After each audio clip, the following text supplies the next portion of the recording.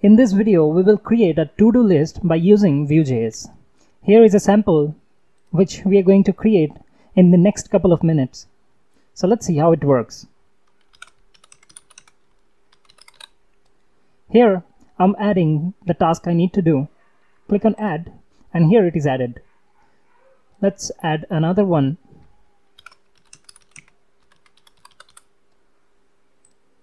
And here it is added. Suppose you want to edit it.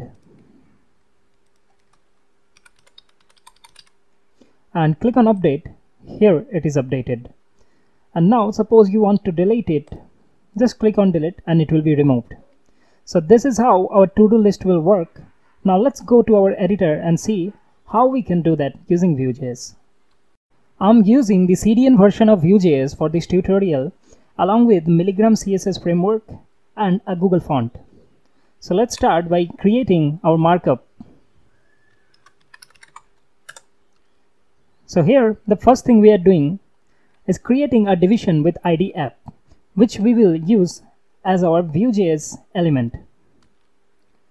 Now inside that, let's create a container and now we will add a heading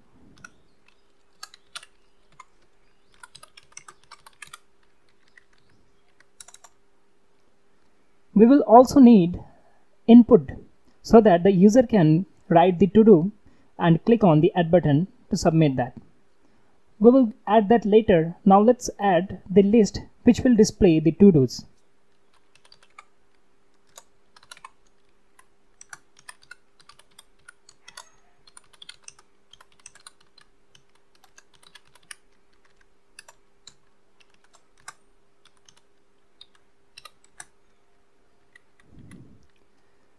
So here I have added an ordered list and inside that each item is going to loop through the to-dos. Now in order to execute that we need to create our first Vue instance. You can do that simply by using new Vue and here inside the object we can pass the configuration.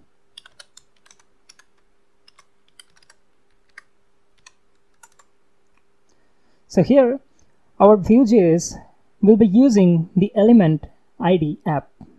Here it is. So this Vue instance can access and manipulate anything inside this division. Now here we are looping through all the to-dos. So basically to-dos is going to be an array. So let's add that inside data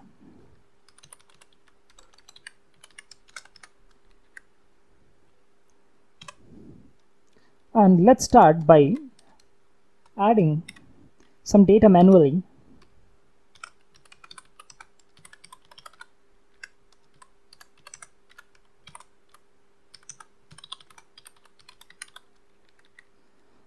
Now let's save it.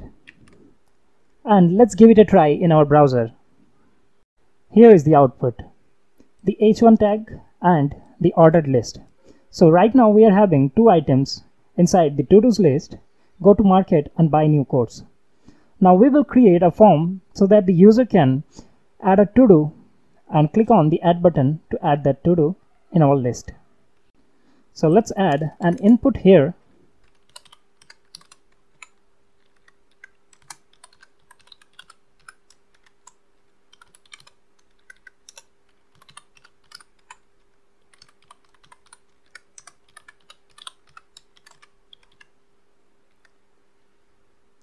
So here I have added a text input and used the v-model to create a two-way binding with to-do and we need to add this to-do inside our data. It's going to be a string.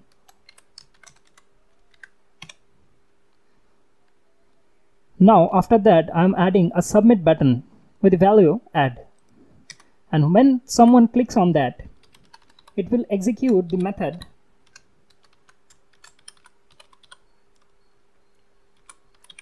store to do. So now after the data part we will add the methods. So our first method is going to be store to do.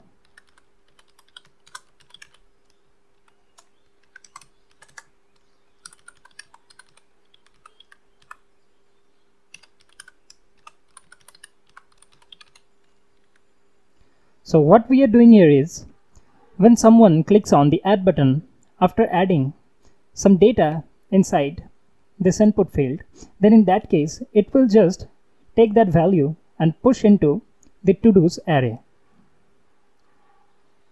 Let's give it a try. Here is the output. Now let's add something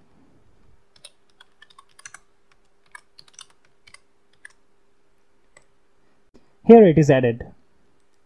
So this is how we can use an input and bind it with some data.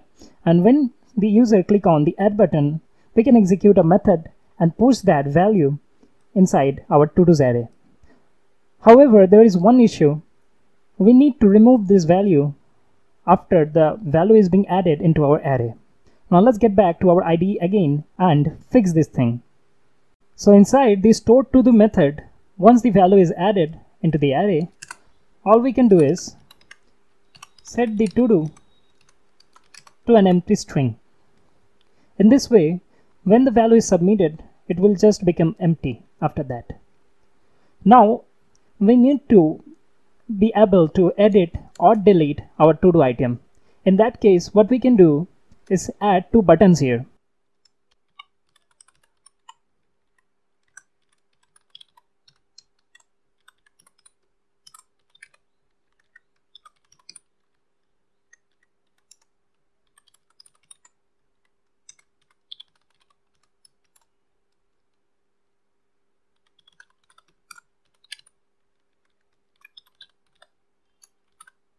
So here we have added two buttons. The first one is edit, which will execute the edit to do method when we click on that. And the next one is delete. We also need to pass the index as well as the to do item inside the edit to do method. So let's add that.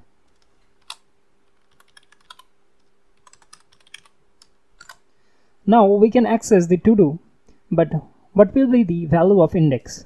We can do that simply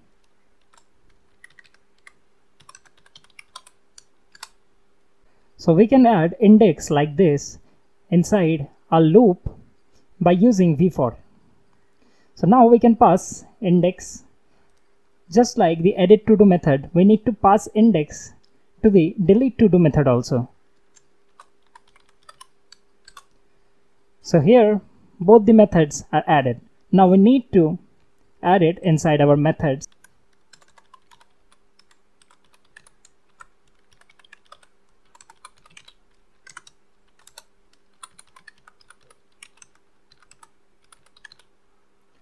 So what we are doing inside the edit to do method is we are setting the value of to do to the to do inside our data.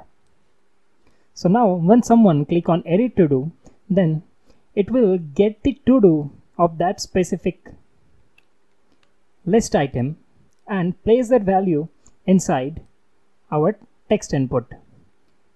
Now there is two different things we need to take care of. The first thing is this form is going to execute the store to do method once the user fill the value of to do.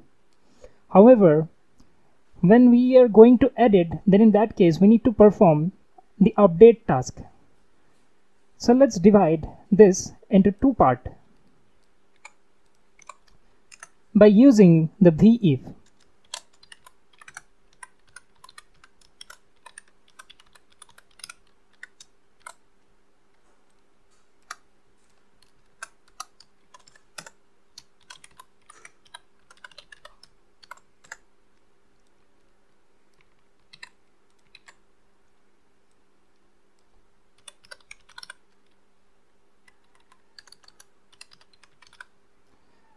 So here we have divided our form into two parts.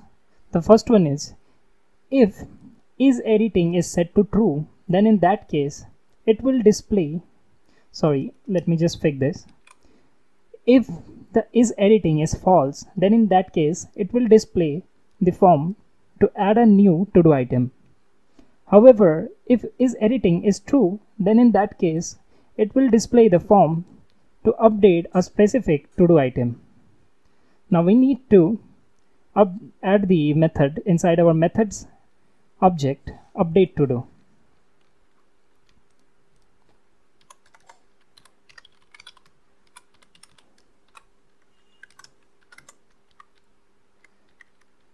So when the user fill up the to do and click on the update button, then in that case we need to get the index of which to do item the user wants to update. So we need to pass the edit to do methods index argument from here to here. So how we can do that? In that case, we need to add another variable inside our data and that will be selected index which we will set to null and when the user click on the edit button of any specific to do then in that case we will set the index to selected index.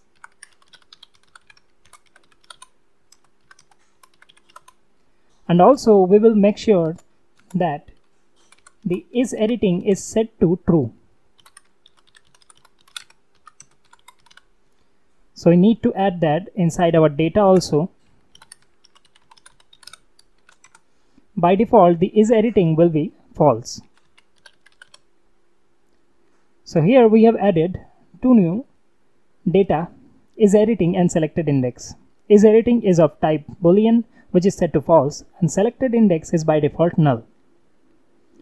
So our edit to do method is done. Now once the user click on update to do then in that case what we will do is we will use the splice method of JavaScript array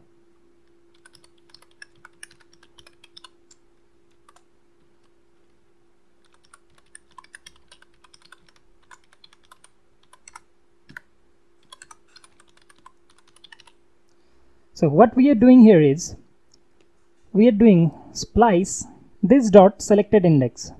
So the first thing it will do is select the index of which to do item the user has clicked the edit button.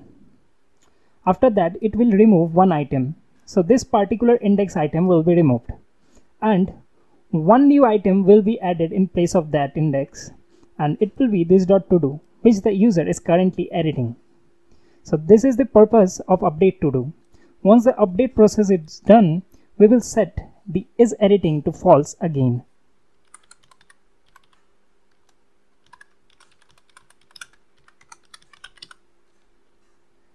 So this was all about the edit and update task. Now we need to add the method delete to do.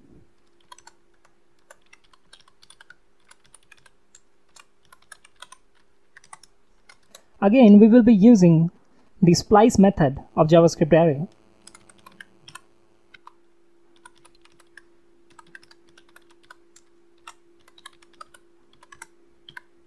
So here, what we are doing is passing the index and setting it to 1.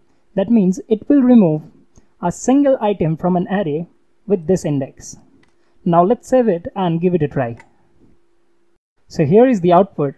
Now let's click on edit button.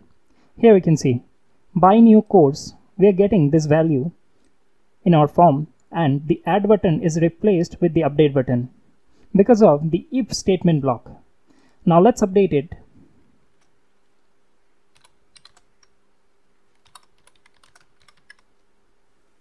Now once we click on update here it is updated. Now we need to take care of one thing again once the user has updated the value, we need to set this dot to do equals to empty string again. So we can get rid of this issue. Now let's add one more item.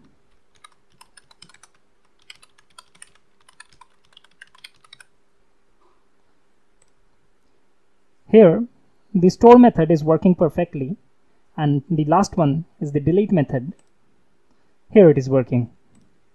So this is how we can create a full featured to-do list by using Vue.js.